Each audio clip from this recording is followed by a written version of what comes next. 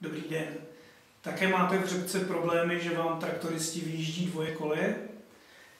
Přednedávnem jsem měl kolem řepkového pole a na první pohled se mi zdálo, že jsou příliš hustě kolejáky.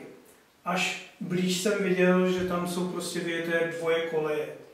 Když jsem se podíval z kraje, jak je to eh, pole zaseté, tak první kolejový řádek traktorista trefil, na dalším už sdílel pouze jednu kolej, ale byl posunut. Na další už nechával mezeru mezi jednotlivýma kolejema.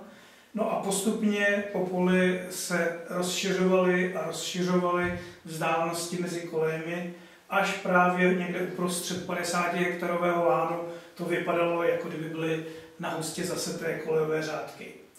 Celý problém je v tom, že při setí se překrývají jednotlivé secí stroje, takže vzdálenost od jedné koleje k druhé neodpovídá, je menší.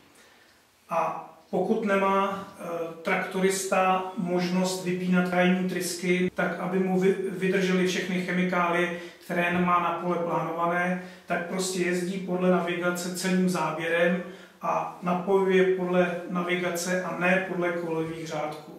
Tím pádem potom dělá vlastně dvoje koleje, což je velká škoda.